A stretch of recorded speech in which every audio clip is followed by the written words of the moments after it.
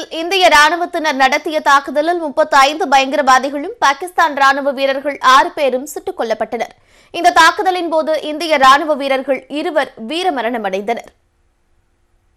காஷ்மீர் மாநில எல்லைப் பகுதியில் பாகிஸ்தான் ராணுவம் மற்றும் பயங்கரவாதிகள் தொடர்ந்து ஊடுருவ முயற்சித்து வருகின்றனர் இந்நிலையில் காஷ்மீர் மாநில எல்லையில் உள்ள தாங்தார் பகுதியில் பாகிஸ்தான் ராணுவத்தினர் எல்லை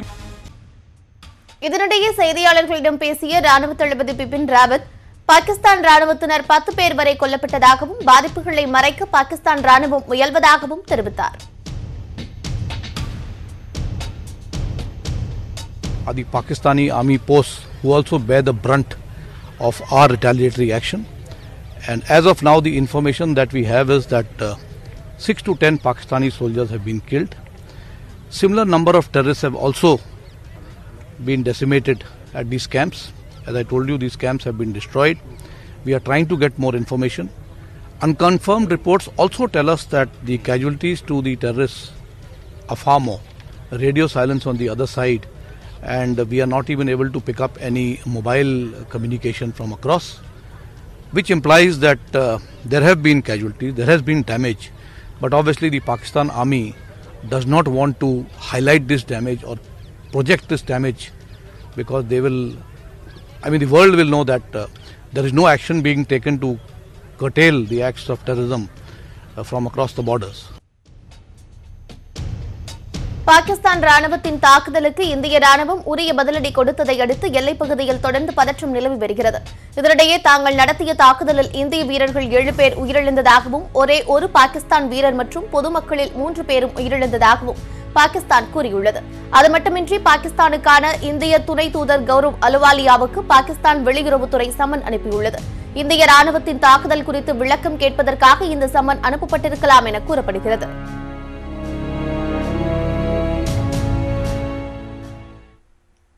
காஷ்மீர் எல்லையில் வன்முறையை தூண்டி சர்வதேச அளவில் இந்தியா மீது குற்றம் சாட்டும் நடவடிக்கைகளில் பாகிஸ்தான் ஈடுபடுவது தொடர்ந்து நடக்கும் என முன்னாள் ராணுவ அதிகாரி ஷங்கர் தெரிவித்துள்ளாா் என்ன பண்ணணும்னா அவங்க எய்ட் ஐடியா நம்ம செக்யூரிட்டி ஃபோர்ஸஸ் அவங்க மேலே ஃபயர் பண்ணி ரெண்ட் சிவிலியன் சத்துட்டா அது ஒரு பெரிய விஷயம் ஆகிடும் அது மேலே அவர் அந்த அவங்க பிரதமர் சொன்னால இப்போ பாகிஸ்தான் இம்ரான் கான் ஒரு பிளட் பாத் அந்த பிளட் பாத்துக்கு ட்ரை பண்ணணும் ஆனால் அப்போ தான் அந்த உலகத்தில் சொல்ல முடியும் இங்கே நம்ம இந்தியன் ஃபோர்ஸஸ்ஸு ஒரு ஆக்குபேஷன் பண்ணுறாங்க காஷ்மீர் மேலே இதுதான் அவங்க ஐடியா போகப்போ இது இன்னும் ஜாஸ்தி தான் ஆகும் அவங்க ட்ரை பண்ணுவாங்க மேக்ஸிமம் ட்ரை பண்ணுவாங்க நம்ம இப்போ ஆஸ் ஆஃப் நவ் நம்ம LOC is very strong and our intelligence system கூட நல்லா இருக்குது ஸோ இது மாதிரி ஆகிட்டே இருக்கும் இது ஒரு expected reaction eh, Maharashtra Haryana மாநில சட்டப்பேரவை தேர்தலோடு தமிழகம் உட்பட பல்வேறு மாநிலங்களைச் சேர்ந்த ஐம்பத்தொரு சட்டப்பேரவை தொகுதிகளுக்கும் இரண்டு மக்களவை தொகுதிகளுக்கும் நாளை வாக்குப்பதிவு நடைபெறுகிறது மகாராஷ்டிர மாநிலத்தில் உள்ள இருநூற்றி எண்பத்தி எட்டு சட்டப்பேரவை தொகுதிகளுக்கும் நாளை ஒரே கட்டமாக வாக்குப்பதிவு நடைபெறுகிறது இதேபோல தொன்னூறு சட்டப்பேரவை தொகுதிகளை கொண்ட ஹரியானா மாநிலத்திலும் நாளை தேர்தல் நடைபெறுகிறது இவை தவிர தமிழகம் கேரளா உட்பட பல்வேறு மாநிலங்களைச் சேர்ந்த ஐம்பத்தி ஒரு பேரவைத் தொகுதிகள் மற்றும் இரண்டு மக்களவைத் தொகுதிகளுக்கு வாக்குப்பதிவு நடைபெற உள்ளது அதன்படி பீகார் மாநிலத்தில் சமஸ்திபூர் மகாராஷ்டிராவில் சடாரா மக்களவைத் தொகுதிகளுக்கு வாக்குப்பதிவு நடைபெறுகிறது தமிழகத்தில் விக்கிரவாண்டி நாங்குநேரி மற்றும் புதுச்சேரியில் காமராஜ் நகர் தொகுதிகளுக்கு வாக்குப்பதிவு நடைபெறும் உத்தரப்பிரதேச மாநிலத்தில் பதினோரு சட்டப்பேரவை தொகுதிகளுக்கும் குஜராத்தில் ஆறு தொகுதிகளுக்கும் பீகார் கேரளாவில் தலா ஐந்து தொகுதிகளுக்கும் வாக்குப்பதிவு நடைபெறும் இதேபோல பஞ்சாப் அசாம் மாநிலத்தில் தலா நான்கு தொகுதிகளும் சிக்கிம் மாநிலத்தில் மூன்று தொகுதிகளுக்கும் இமாச்சல் பிரதேசம் ராஜஸ்தானில் தலா இரண்டு பேரவைத் தொகுதிகளுக்கும் நாளை வாக்குப்பதிவு நடைபெறுகிறது இது தவிர மத்திய பிரதேசம் அருணாச்சல பிரதேசம் மேகாலயா சத்தீஸ்கர் ஒடிசா தெலங்கானா ஆகிய மாநிலங்களில் தலா ஒரு தொகுதிக்கும் என மொத்தம் ஐம்பத்தி ஒரு பேரவைத் தொகுதிகளுக்கு நாளை இடைத்தேர்தல் நடைபெறுகிறது மகாராஷ்டிரா மற்றும் ஹரியானா மாநில சட்டப்பேரவைகளுக்கான தேர்தல் நாளை நடைபெறுவதை முன்னிட்டு பாதுகாப்பு ஏற்பாடுகள் பலப்படுத்தப்பட்டுள்ளன மகாராஷ்டிரா மற்றும் ஹரியானா மாநிலங்களுக்கான சட்டப்பேரவைத் தேர்தல் நாளை நடைபெறுகிறது இதில் மகாராஷ்டிராவில் பாஜக சிவசேனா ஒரு அணியாகவும் காங்கிரஸ் மற்றும் தேசியவாத காங்கிரஸ் கட்சிகள் மற்றொரு அணியாகவும் களமிறங்கியுள்ளன பாஜக நூற்று அறுபத்து நான்கு தொகுதிகளிலும் சிவசேனா நூற்று இருபத்து நான்கு தொகுதிகளிலும் காங்கிரஸ் கட்சி நூற்று நாற்பத்தி ஏழு தொகுதிகளிலும் தேசியவாத காங்கிரஸ் நூற்று இருபத்தி ஒரு தொகுதிகளிலும் போட்டியிடுகின்றன ராஜ் தாக்கரே தலைமையிலான மகாராஷ்டிர நவநிர்மாண் சேனா தனித்து போட்டியிடுகிறது பிரகாஷ் அம்பேத்கரின் வஞ்சித் பகுஜன் அகாடி பகுஜன் சமாஜ் கட்சி மற்றும் ஓவைசியின் ஏஐஎம்ஐஎம் கட்சிகளும் களத்தில் உள்ளன இந்திய கம்யூனிஸ்ட் மார்க்சிஸ்ட் கம்யூனிஸ்ட் கட்சிகளும் தேர்தலில் போட்டியிடுகின்றன மொத்தம் மூவாயிரத்து இருநூற்று முப்பத்தி ஏழு வேட்பாளர்கள் மகாராஷ்டிர தேர்தல் களத்தில் உள்ளனர் இந்த தேர்தலில் சிவசேன கட்சியின் நிறுவனர் பால் தாக்கரே குடும்பத்திலிருந்து முதல் முறையாக உத்தவ் தாக்கரே மகன் ஆதித்யா தாக்கரே மும்பையின் பொர்லி தொகுதியில் வேட்பாளராக களமிறங்கியுள்ளார் முதலமைச்சர் தேவேந்திர பட்னாவிஸ் நாக்பூர் தென்மேற்கு தொகுதியில் போட்டியிடுகிறார் சியோன் கோலிவாடா தொகுதியில் இரண்டாயிரத்தி பதினான்காம் ஆண்டு வெற்றி பெற்ற தமிழரான தமிழ்ச்செல்வன் பாஜக வேட்பாளராக களமிறக்கப்பட்டுள்ளார் மகாராஷ்டிராவில் நடைபெறும் வாக்குப்பதிவுக்காக தொன்னூற்று ஆறாயிரத்து அறுநூற்று அறுபத்தி ஒரு வாக்குச்சாவடிகள் அமைக்கப்பட்டுள்ளன ஒரு லட்சத்து முப்பத்தி ஐந்தாயிரத்து இருபத்தி ஒரு மின்னணு எந்திரங்கள் பயன்படுத்தப்பட உள்ளன ஆறரை லட்சம் வாக்குச்சாவடி பணியாளர்கள் தேர்தல் பணியாற்றுகிறார்கள் ஹரியானா மாநிலத்தில் மொத்தமுள்ள தொன்னூறு சட்டமன்ற தொகுதிகளிலும் பாஜகவும் காங்கிரஸ் கட்சியும் நேருக்கு நேர் மோதுகின்றன இந்திய தேசிய லோக்தல் ஜனநாயக ஜனதா கட்சி ஆகிய கட்சிகளும் களத்தில் உள்ளன ஹரியானா முதலமைச்சர் மனோகர் லால் கட்டார் கர்னால் தொகுதியில் மீண்டும் போட்டியிடுகிறார் கடந்த சில நாட்களாக இரு மாநிலங்களிலும் அரசியல் தலைவர்களின் பரப்புரையால் அனல் பறந்தது மகாராஷ்டிராவில் மட்டும் பிரதமர் மோடி ஒன்பது பரப்புரை கூட்டங்களிலும் ராகுல் காந்தி ஆறு பொதுக்கூட்டங்களிலும் கலந்து கொண்டு வாக்கு சேகரித்தனர் நாளை வாக்குப்பதிவு நடைபெறுவதையொட்டி இரு மாநிலங்களிலும் பாதுகாப்பு பலப்படுத்தப்பட்டுள்ளது மகாராஷ்டிராவில் பதற்றம் நிறைந்த வாக்குச்சாவடிகளில் கூடுதல் காவல்துறையினர் நிறுத்தப்பட்டுள்ளனர் மாவோயிஸ்டுகள் ஆதிக்கம் நிறைந்த கட்சிரோலி மாவட்டத்தில் ஆளில்லா உளவு விமானங்களும் மூன்று ஹெலிகாப்டர்களும் பாதுகாப்பு பணிக்காக கொண்டு செல்லப்பட்டுள்ளன மாநில காவல்துறையைச் சேர்ந்த இரண்டு லட்சம் காவலர்கள் சிஐஎஸ்எஃப் மத்திய ரிசர்வ் போலீஸ் நாகாலாந்து பெண் போலீஸ் படைகளை சேர்த்து ஒரு லட்சம் பேர் பாதுகாப்பு பணியில் ஈடுபடுத்தப்பட்டுள்ளனர் ஹரியானா மாநிலத்தில் தேர்தல் பாதுகாப்புக்காக எழுபத்தைந்தாயிரம் காவலர்கள் பணியமர்த்தப்பட்டுள்ளனர் பதற்றமான அதிக பதற்றமான வாக்குச்சாவடிகளில் கூடுதல் போலீசாரும் பாதுகாப்பு படையினரும் நிறுத்தப்படுவர் என அம்மாநில காவல்துறை தெரிவித்துள்ளது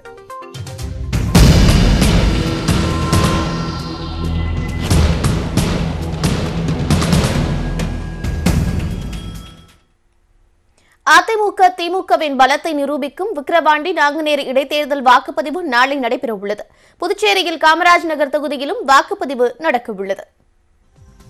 விக்கிரவாண்டி தொகுதியில் அதிமுக சார்பில் முத்தமிழ் செல்வன் போட்டியிடுகிறார் திமுக சார்பில் புகழேந்தியும் நாம் தமிழர் கட்சி சார்பில் கந்தசாமியும் போட்டியிடுகின்றனர் திரைப்பட இயக்குனர் கௌதமன் உட்பட ஒன்பது வேட்பாளர்கள் சுயேட்சைகளாக போட்டியிடுகின்றனர் இந்த தொகுதியில் மொத்தம் இரண்டு லட்சத்து இருபத்தி மூன்றாயிரத்து நானூற்று தொன்னூற்று இரண்டு வாக்காளர்கள் வாக்களிக்க தகுதி பெற்றுள்ளனர் அதில் ஒரு லட்சத்து பதினோராயிரத்து எழுநூற்று முப்பத்தி எட்டு ஆண் வாக்காளர்களும்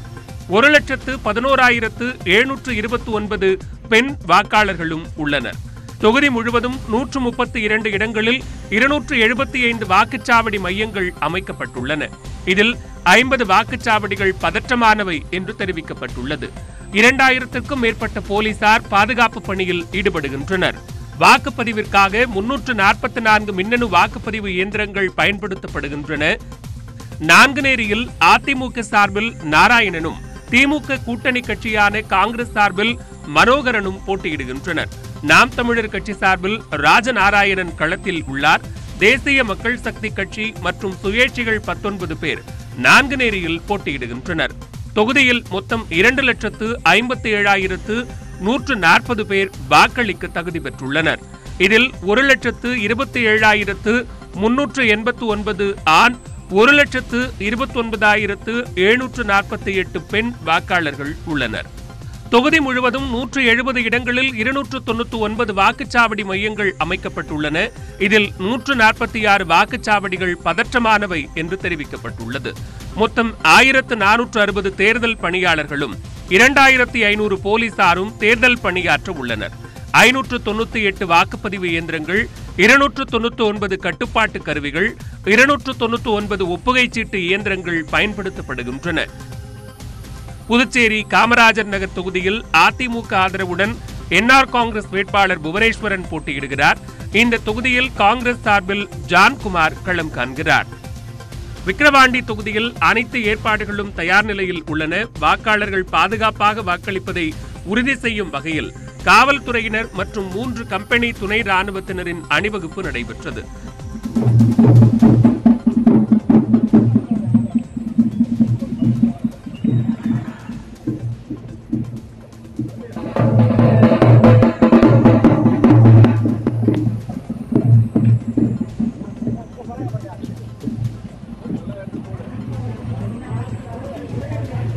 இந்த தேர்தல் நடப்பதற்கு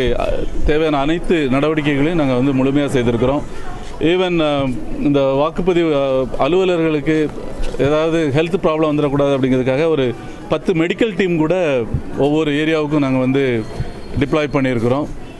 காவல்துறை வருவாய்த்துறை மற்ற அனைத்து துறை அலுவலர்களும் இந்த தேர்தலை நடத்துறதுக்கு தயார் நிலையில் இருந்துகிட்டு இருக்கிறாங்க இதனிடையே விக்கிரவாண்டியில் வாக்குச்சாவடிகளை கைப்பற்றும் நோக்கோடு திமுக தலைவர்கள் நேரு வேலு பொன்முடி ஜெகத்ரட்சகன் ஆகியோர் அங்கு தங்கியிருப்பதாக அதிமுக சார்பில் தலைமை தேர்தல் அதிகாரி சத்யபிரதா சாகுவிடம் புகார் அளிக்கப்பட்டுள்ளது இந்நிலையில் மூன்று தொகுதிகளிலும் நாளை காலை ஏழு மணி முதல் மாலை ஆறு மணி வரை தங்கு தடையின்றி வாக்குப்பதிவு நடக்க அனைத்து ஏற்பாடுகளும் செய்யப்பட்டுள்ளன வரும் இருபத்தி நான்காம் தேதி வாக்கு எண்ணிக்கை நடத்தி முடிவுகள் அறிவிக்கப்பட உள்ளன தமிழக முதலமைச்சர் எடப்பாடி பழனிசாமிக்கு எம்ஜிஆர் கல்வி மற்றும் ஆராய்ச்சி நிறுவனம் சார்பில் கௌரவ டாக்டர் பட்டம் வழங்கப்பட்டது பல்வேறு துறைகளில் சிறப்பாக பணியாற்றியவர்களுக்கு பல்கலைக்கழகங்கள் சார்பில் கௌரவ டாக்டர் பட்டம் வழங்கப்படுகிறது அந்த வகையில் முதலமைச்சர் எடப்பாடி பழனிசாமிக்கு கௌரவ டாக்டர் பட்டம் வழங்கப்படுவதாக ஏ சி சண்முகத்தின் எம்ஜிஆர் கல்வி மற்றும் ஆராய்ச்சி நிறுவனம் அறிவித்தது இதற்கான பட்டமளிப்பு விழா சென்னை வேலப்பன் சாவடியில் உள்ள ஏசிஎஸ் மருத்துவக் கல்லூரி வளாகத்தில் நடைபெற்றது விழாவுக்கு எம்ஜிஆர் கல்வி மற்றும் ஆராய்ச்சி நிறுவனத்தின் நிறுவனர் ஏ சி சண்முகம் தலைமை வகித்தார் சிறப்பு விருந்தினராக முதலமைச்சர் எடப்பாடி பழனிசாமி கலந்து கொண்டார் அவருக்கு டாக்டர் பட்டத்தை ஏ சி சண்முகம் வழங்கி கௌரவித்தார் புரட்சி தலைவர் எம்ஜிஆருடைய ஆன்மா உங்களுக்கு கொடுக்கிறது புரட்சி தலைவர் அம்மாவுடைய ஆன்மா உங்களுக்கு கொடுக்கிறது பேசிய முதலமைச்சர் பழனிசாமி தமிழகம் உயர்கல்வித்துறையின் முதன்மை மாநிலமாக திகழ்வதாக பெருமிதம் தெரிவித்தார் ஏழை எளிய மாணவர்கள் உயர்கல்வி படிக்கும் வகையில் கலை அறிவியல் கல்லூரிகள் மட்டுமல்லாது சட்ட கல்லூரிகளையும் தொழிற்கல்வி கற்பிக்கும் பொறியியல் மற்றும் மருத்துவக் கல்லூரிகளையும் அதிக அளவில் திறந்து எண்ணற்ற சாதனைகளை கல்வித்துறையில் மாண்பு அம்மாவின் அரசு நிகழ்த்தி வருகிறது இதன் காரணமாகத்தான் உயர்கல்வியில் சேரும் மாணவர்கள் சதவீதம் நாற்பத்தொன்பது என உயர்ந்து இந்தியாவிலேயே உயர்கல்வி சேர்க்கையில் தமிழ்நாடு முதன்மை மாநிலமாக திகழ்கிறது இதேபோல் டிஆர்டிஓ எனப்படும் இந்திய பாதுகாப்பு ஆராய்ச்சி மற்றும் வளர்ச்சிக் கழகத்தின் தலைவர் ஜி சதீஷ் ரெட்டி கங்கா மருத்துவமனையின் தலைவர் எஸ் ராஜசபாபதி இசையமைப்பாளர் ஹாரிஸ் ஜெயராஜ் பரதநாட்டிய கலைஞர் சோபனா ஆகியோருக்கும் டாக்டர் பட்டம் வழங்கப்பட்டது இவர்களுக்கு முதலமைச்சர் எடப்பாடி பழனிசாமி தனது கரங்களால் சான்றிதழ்கள் அளித்து கௌரவித்தார்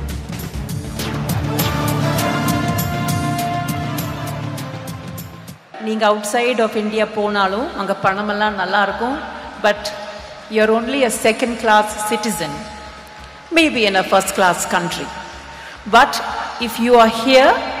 you're a first class citizen now in a first class country புரட்சித் தலைவர் எம்ஜிஆர் புரட்சி தலைவி அம்மா ஜெயலலிதா அவர்கள்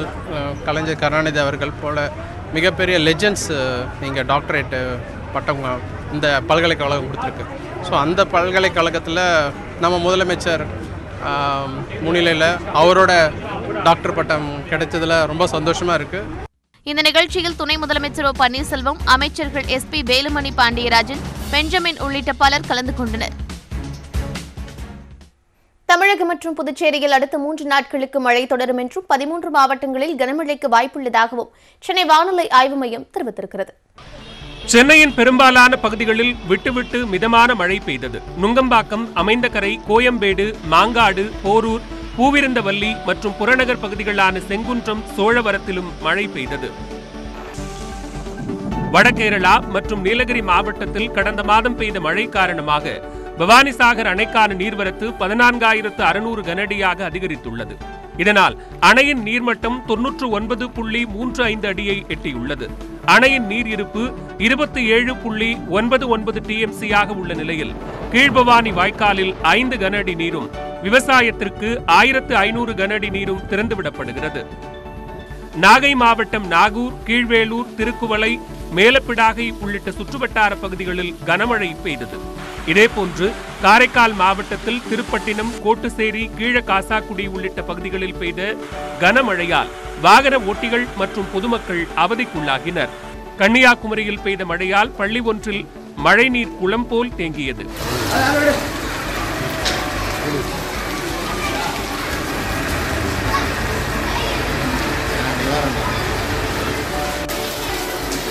சென்னை மீனம்பாக்கத்தில் செய்தியாளர்களுக்கு பேட்டியளித்த வானிலை ஆய்வு மைய இயக்குநர் புவியரசன் தென்மேற்கு வங்கக்கடலில் வளிமண்டல மேலடுக்கு சுழற்சி நிலவுவதாக தெரிவித்தார் இதனால் தமிழகம் மற்றும் புதுச்சேரியில் அடுத்த மூன்று நாட்களுக்கு மழை நீடிக்கும் என்றும் பதிமூன்று மாவட்டங்களில் கனமழைக்கு வாய்ப்புள்ளதாகவும் தெரிவித்தார் குறிப்பாக தஞ்சாவூர் திருவாரூர் நாகப்பட்டினம் உள்ளிட்ட பகுதிகளிலும் நீலகிரி கோவை தேனி ஆகிய பகுதிகளிலும் கனமழை பெய்யக்கூடும் என்று கூறினார் அடுத்த மூன்று நாட்களுக்கு தமிழகம் மற்றும் புதுவை கடலோர மாவட்டங்களில் பெரும்பாலான இடங்களில் மிதமான மழையும் ஓரிரு இடங்களில் கனமழைக்கும் உள் மாவட்டங்களில் லேசான மழைக்கும் கோயமுத்தூர் நீலகிரி தேனி திண்டுக்கல் ஆகிய மாவட்டங்களில் ஒரு சில இடங்களில் கனமழைக்கு வாய்ப்பு உள்ளது சென்னை மற்றும் புறநகரின் சில பகுதிகளில் அடுத்த இரண்டு நாட்களுக்கு மிதமான மழை பெய்யக்கூடும் என்றும் புவியரசன் கூறினார் குமரிக்கடல் மன்னார் வளைகுடா பகுதிகளில் சூறைக்காற்று வீசுவதால் மீனவர்கள் அடுத்த இரண்டு நாட்களுக்கு அப்பகுதிகளுக்கு செல்ல வேண்டாம் என்று எச்சரிக்கப்பட்டுள்ளது கடந்த இருபத்தி நான்கு மணி நேரத்தில் கடலூர் மாவட்டம் புவனகிரியில் ஒன்பது சென்டிமீட்டர் மழையும் சேத்தியாத்தோப்பில் ஆறு சென்டிமீட்டர் குன்னூரில் ஐந்து சென்டிமீட்டர் மழையும் மேட்டுப்பாளையம் பாபநாசத்தில் தலா நான்கு சென்டிமீட்டர் மழையும் பெய்துள்ளது இதனிடையே தமிழகத்தில் அடுத்த மூன்று நாட்களுக்கு மோசமான வானிலை நிலவும் என்பதை குறிக்கும் வகையில் இந்திய வானிலை ஆய்வு மையம் ஆரஞ்ச் எச்சரிக்கை விடுத்துள்ளது தாழ்வான இடங்களில் வசிப்போர் மேடான இடங்களுக்கு செல்லுதல் உணவு உள்ளிட்டவற்றை தயாராக வைத்துக் கொள்ளுதல் உள்ளிட்ட முன்னேற்பாடுகளை செய்யவும் அறிவுறுத்தப்பட்டுள்ளது தீபாவளி பண்டிகைக்கு இன்னும் சில நாட்களே உள்ள நிலையில் ஷாப்பிங் செய்ய கடைவீதிகளில் கூட்டம் அலைமோதுகிறது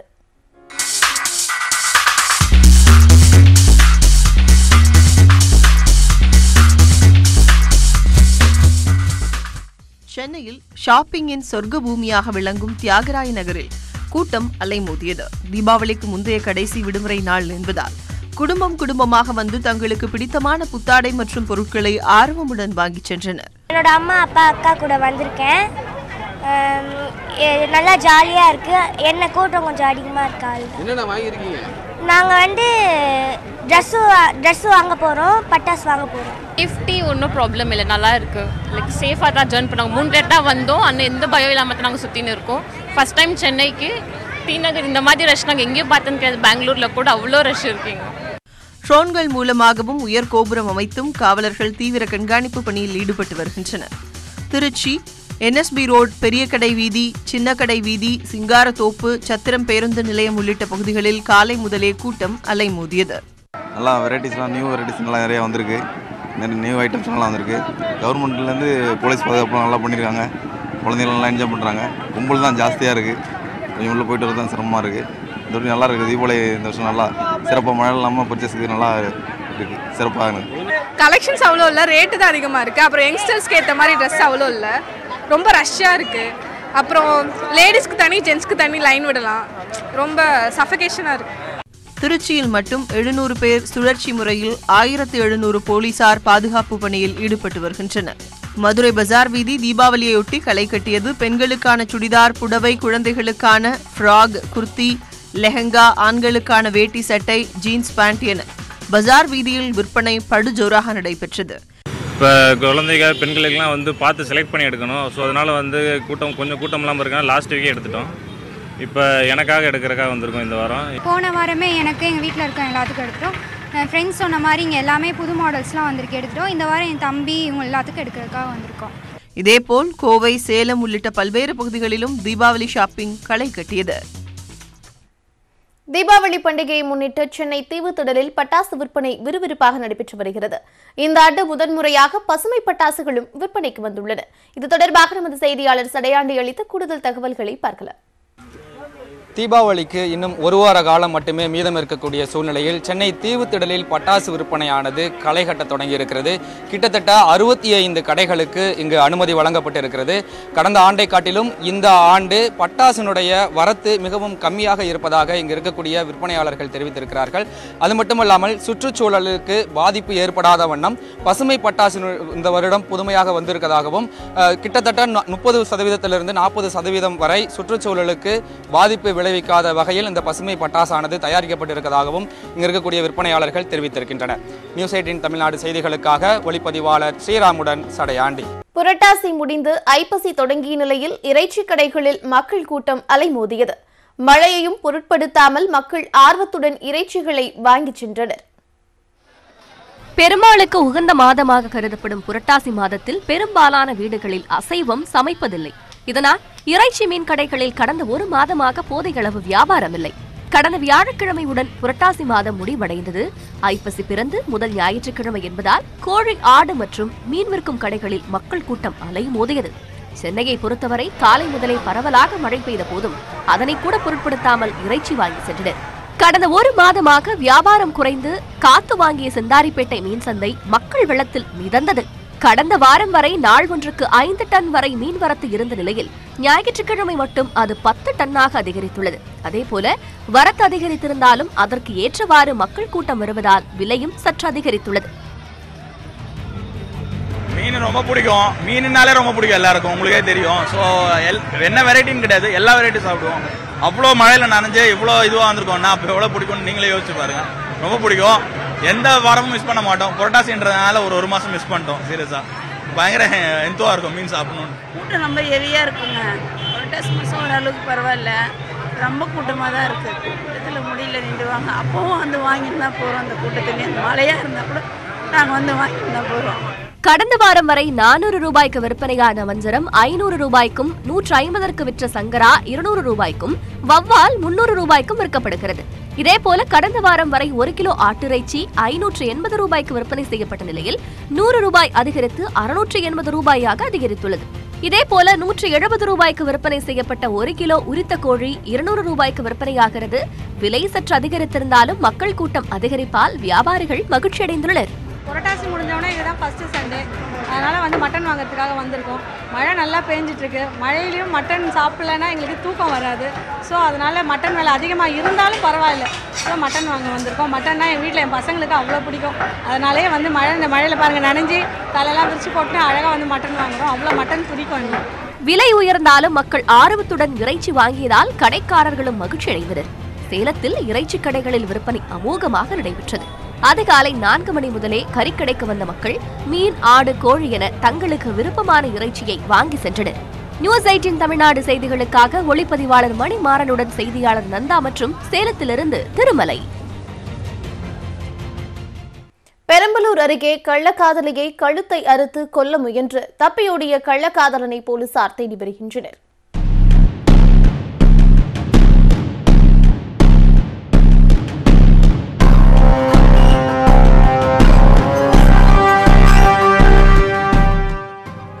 பெரம்பலூர் மாவட்டம் அரும்பாவூர் அருகே உள்ள பூலாம்பாடியைச் சேர்ந்த நாற்பத்தி இரண்டு வயதான பெண் கணவர் குழந்தைகளை பிரிந்து பத்து ஆண்டுகளுக்கும் மேலாக தாய் வீட்டில் வசித்து வருகிறார் இந்நிலையில் அந்த பெண்ணிற்கு அதே ஊரைச் சேர்ந்த நாற்பத்தி ஐந்து வயதான செந்தில்குமார் என்பவருடன் கடந்த ஐந்து ஆண்டுகளுக்கு முன்னர் பழக்கம் ஏற்பட்டுள்ளது இந்த பழக்கம் நாளடைவில் கள்ளக்காதலாக மாறியுள்ளது இந்நிலையில் செந்தில்குமாருக்கும் அந்த பெண்ணிற்கும் இடையே கடந்த சில மாதங்களாக கருத்து வேறுபாடு ஏற்பட்டு அடிக்கடி தகராறு ஏற்பட்டுள்ளது இந்நிலையில் ஞாயிற்றுக்கிழமை காலை கூலி வேலைக்கு சென்று கொண்டிருந்த பெண்ணை கடம்பூர் சாலையில் உள்ள கடம்பன் குட்டை அருகே வழிமறித்த செந்தில்குமார் தகராறில் ஈடுபட்டுள்ளார் அப்போது இருவருக்கும் இடையிலான வாக்குவாதம் முற்றி மறைத்து வைத்திருந்த அறிவாளால் அந்த பெண்ணின் கழுத்தை எடுத்து கொலை செய்ய முயன்றார் பெண்ணின் அலறல் சத்தம் கேட்டு அக்கம் பக்கத்தில் இருந்தவர்கள் ஓடி வந்ததை அடுத்து செந்தில்குமார் தப்பி ஓடிவிட்டார் இதனை அடுத்து நூற்றி எட்டு ஆம்புலன்ஸ் மூலமாக பெரம்பலூர் அரசு மருத்துவமனையில் சேர்க்கப்பட்ட பெண்ணுக்கு தீவிர சிகிச்சை பிரிவில் சிகிச்சை அளிக்கப்பட்டு வருகிறது சம்பவம் குறித்து தகவல் அறிந்த அரும்பாவூர் போலீசார் வழக்கு பதிவு செய்து பெண்ணை அறிவாளால் கழுத்தை அறுத்து கொலை செய்ய முயன்ற செந்தில்குமாரை தேடி வருகின்றனர்